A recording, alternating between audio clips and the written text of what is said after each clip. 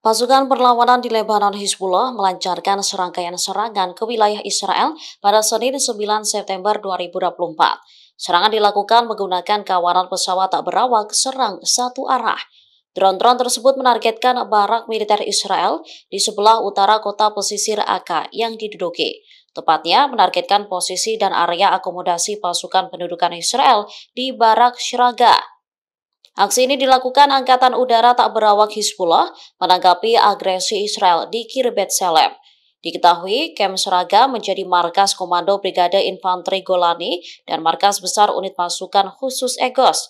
Tanya itu, Hizbullah juga menembakkan roket Katyusha ke markas besar Brigade Teritorial Baram ke-300 yang baru didirikan. Selain Hizbullah, serangan juga dilakukan pasukan Al-Fajr. Mereka mengaku menembakkan dua rentetan roket ke barak Beit Hillel di Al-Jalil Panhandle. Serangan dilakukan sebagai respon atas kejahatan Israel terhadap warga sipil di Lebanon dan Palestina.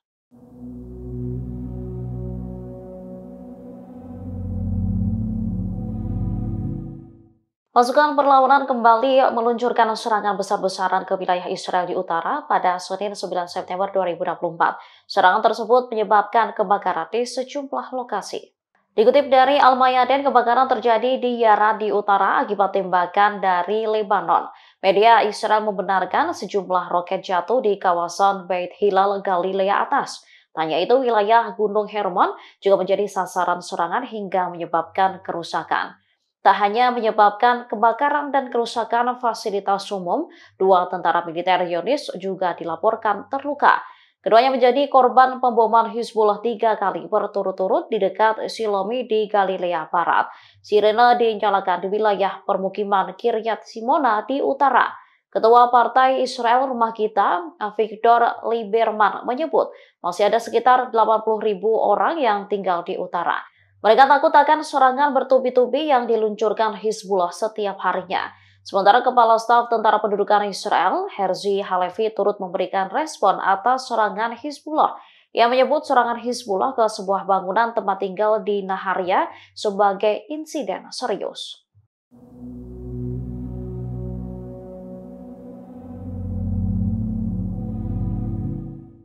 Pasukan Iran disebut akan menggunakan strategi tak biasa untuk membalas kematian pemimpin politik Hamas Ismail Haniyeh.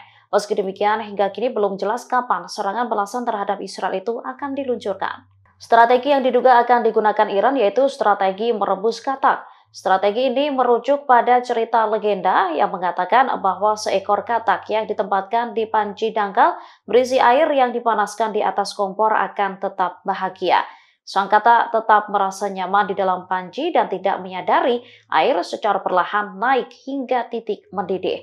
Dikutip dari tribuyus.com, kata akhirnya terlambat menyelamatkan diri. Perumpamaan cerita ini sering digunakan oleh para ahli militer dan geopolitik untuk menggambarkan permainan panjang dalam mencapai tujuan strategis. Iran pun diyakini akan melakukan serangan yang terukur dan strategis. Ali Muhammad Naini, juru bicara Korps Garda Revolusi Islam atau IRGC sebelumnya menyebut serangan menunggu waktu yang tepat. Lebih lanjut dikatakannya, serangan mereka diyakini akan melumpuhkan Israel.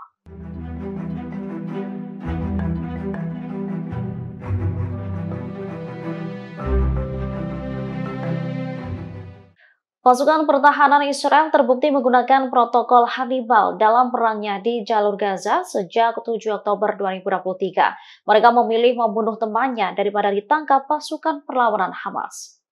Fakta ini terungkap berdasarkan hasil investigasi yang dilakukan Australian Broadcasting Corporation atau ABC. Protokol tersebut digunakan oleh militer Israel untuk mencegah Hamas menangkap tentara Israel.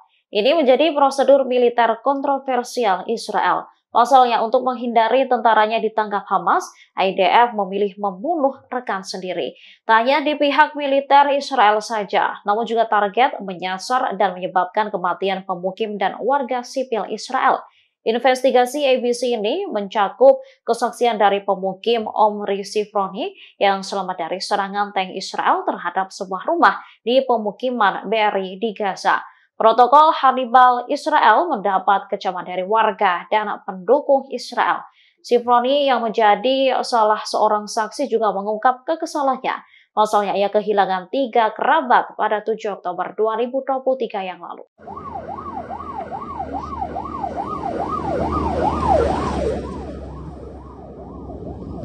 Pasukan pendudukan Israel meluncurkan serangan mematikan ke tenda-tenda pengungsi di Mawasi Han Yunis. Serangan mereka bahkan menyebabkan terbentuknya lubang berukuran besar.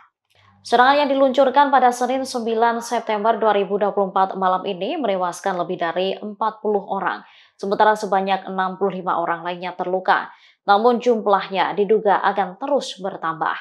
Koresponden Al-Mayaden menilai ini menjadi serangan paling mematikan di jalur Gaza Pasalnya, pendudukan menargetkan ambulans sehingga korban kesulitan untuk diselamatkan. Saat ini sejumlah petugas dan warga setempat tengah mencari keberadaan korban tewas lainnya dengan cara menggali tanah dengan tangan. Sementara itu, pertahanan sipil di Gaza mengumumkan bahwa bom yang dijatuhkan oleh pesawat pendudukan masing-masing berbobot 2.000 pon. Diduga pesawat tempur Israel menargetkan dengan lima rudal di lebih dari 20 tenda pengungsi di Han Yunis.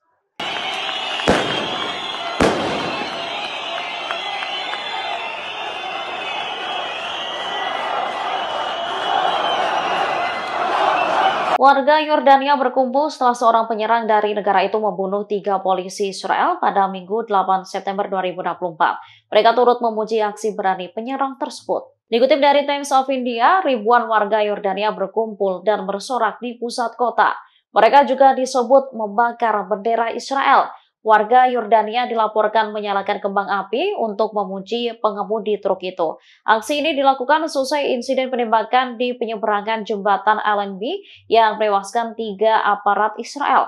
Penyerangan dilakukan oleh seorang pengemudi truk Yordania bernama Maher Al-Jazi. Penembakan itu dilakukan dengan pistol dari jarak dekat. Namun selesai penembakan itu, pengemudi truk tersebut juga ditembak mati oleh pasukan pendudukan Israel. Meski warganya memberikan pujian kepada Maher, namun Kementerian Luar Negeri Yordania mengeluarkan pernyataan 14 jam setelah insiden itu. Pemerintah juga turut mengutuk insiden tersebut. Download Tribun X sekarang, menghadirkan lokal menjadi Indonesia.